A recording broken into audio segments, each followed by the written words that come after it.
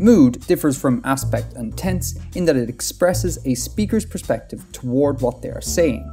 The term mood is often used to refer to both grammatical mood and modality, two similar yet subtly different ideas. Grammatical mood is the grammatical expression of various modalities. Modality is the meaning conveyed by those grammatical expressions. For now, let's focus on modality. Human languages feature many, many, many, many different flavors of modality. Starting on the left branch, propositional modalities are concerned with the reliability of a speaker's statements. Languages usually deal with propositional modality in one of two ways, epistemically or evidentially. Epistemic modality, from the Greek for knowledge, deals with the judgments speakers make based on what they know or believe. Compare Malcolm may be at home now, Malcolm must be at home now, Malcolm will be at home now. Malcolm may be at home now is an example of speculative modality. From the speaker's point of view, Malcolm may or may not be at home. They are unsure, speculating. Ergo, speculative modality is frequently used to express uncertainty. Malcolm must be at home now is an example of deductive modality. Deductive modality implies inference from observable evidence and, at least in English, signals that the speaker is confident in their conclusions. Maybe the lights are on in Malcolm's house and his car is parked outside. Ergo, the speaker deduces that the most reasonable, if not the only possible conclusion, is that Malcolm is indeed at home. And finally, Malcolm will be at home now is an example of assumptive modality, which deals with inference from what is generally known. Maybe it's the weekend and it's generally known that Malcolm doesn't work weekends, so it would be reasonable to assume that he is at home, albeit he could very well be away visiting family or something. Side note, English's will also signals future tense and future habituality and a whole bunch of other stuff. English's future is seriously moody, remember that. Anyways, that essentially is the epistemic speculative, epistemic deductive, and epistemic assumptive done. Speculating, deducing, and assuming based on what a speaker knows or believes. In contrast, evidential modality deals with the evidence speaker has to back up their claims, generally broken into linguistic evidence, reported modality, or observable evidence, sensory modality. In FASU, there's a distinction between whether the speaker's info came from a known source or an unknown source. Similarly, in Central Pomo, a speaker can use general knowledge or established fact to support their claims. These are examples of reported to, reported 3, and reported gen modality. Second-hand evidence, aka hearsay from a known source, third-hand evidence, aka hearsay from an unknown source, and evidence from folklore, established oral traditions, evidence from general knowledge, that kind of thing. All of these are subtypes of reported modality. On the sensory side, Ngiyamba has a marker for sensory evidence, and it's used for all five senses. So it's got this sort of general sensory thing going on.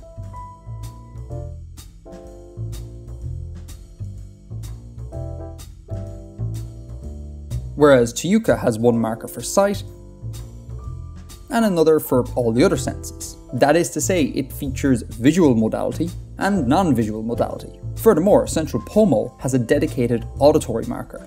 Now, no language has specific markers for senses other than seeing and hearing, but Kashaya has a catch-all marker that can be used to signal non-visual, non-auditory evidence.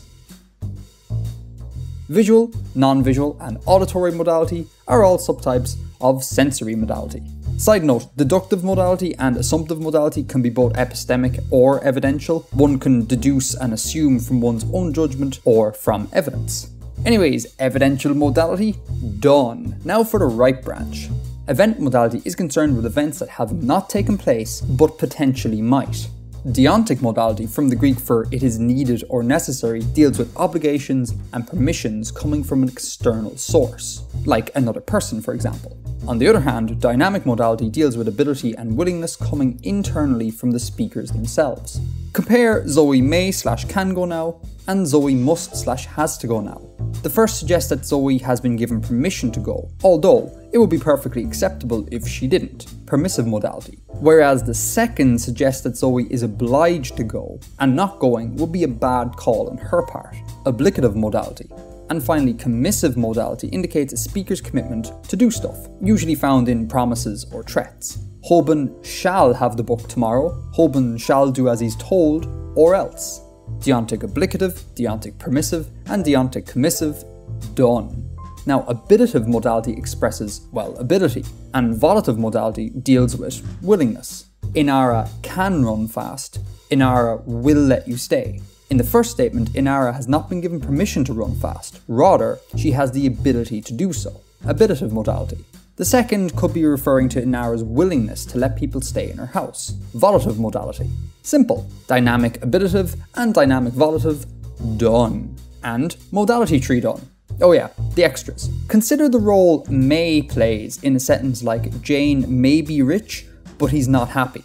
May here is not speculative, it's being used to presuppose Jane's riches. As in, hey, we both know Jane is loaded, right? Well, it turns out he's not happy.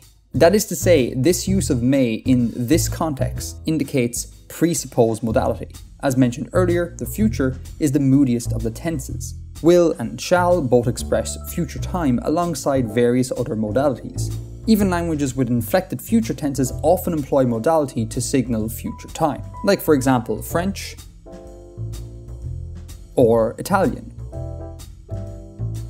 In some languages, negative statements and questions, interrogative statements, carry the same modality.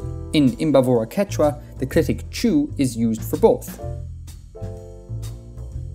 Now, Mandarin has this badass feature that lets the speaker negate both the modal verb and or the main verb of a statement depending on what the speaker wants to say. In other words, I can't go, I'm capable of not going, and I'm not capable of not going. Which is awesome because like in most other languages like English, if you negate the modal verb, you negate the whole statement. Kaylee can go, Kaylee can't go. Commands like come in and don't worry about it are known as imperatives. Cheyenne has two kinds of imperatives commands that are to be carried out immediately and those to be carried out later. It also has a separate jussive form. Jussives are, like imperatives, just aimed at first and third persons. Conditional modality deals with if this then that type statements. If you heat the water to 100 degrees, it will boil. If Simon wins, people will cheer. If River won the lottery, she would go on holidays. The first is an implicative conditional. Basically, if this holds, then so does that.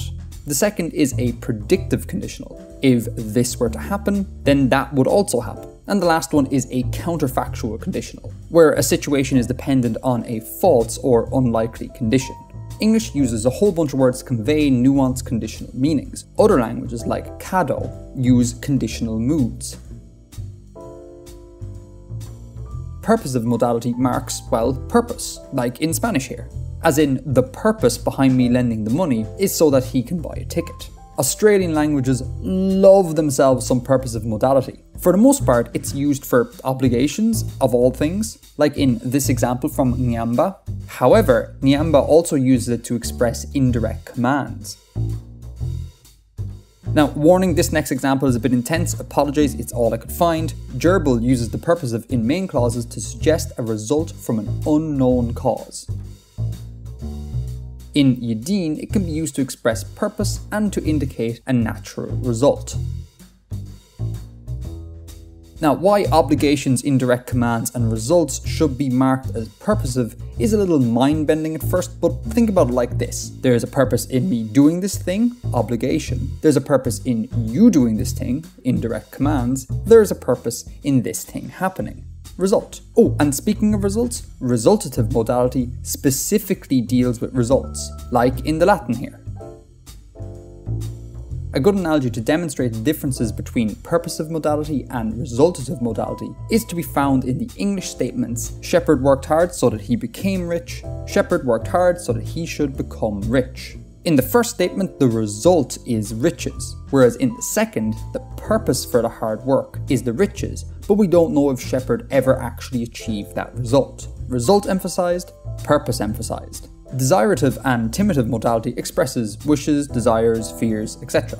Here's an example of desirative modality in Fula, and here's an example of timitive modality in Latin. Interestingly, the communication of fears in classical Greek is so moody that we can ditch the verb of fearing altogether, and the meaning of the statement doesn't change. The fearing part is totally implied. It's pretty sweet. And finally, some languages treat habitual actions in the past as modal. Like how in English one might say, we would go for a walk most weekends. Pretty straightforward, but it gets a little weird. In the next video, I'm going to cover realis and irrealis moods, but for now, when I say realis, think real, factual, etc. And when I say irrealis, think unreal, non-factual, and so on. Got it? Okay. In Bargam, the habitual past is treated as unreal, which is really weird given that the past is anything but. Like, the past happened, it's real, it's factual. So why wouldn't you treat it as real Bargam? Turns out, this statement is both real and unreal. It's an example of hybrid modality. The quote real part being the fact that the speaker has asserted that the habitual action did in fact occur. The quote unreal part is the fact that the statement lacks things like specific temporal references, specific evidence, etc. etc. Bargam, that right there is brilliantly bonkers. Do you know what else is brilliantly bonkers? The length of this video. So it would be best if I finished up here, although I could keep talking about modality. If I were to though, you may get bored. So I shall be on my way.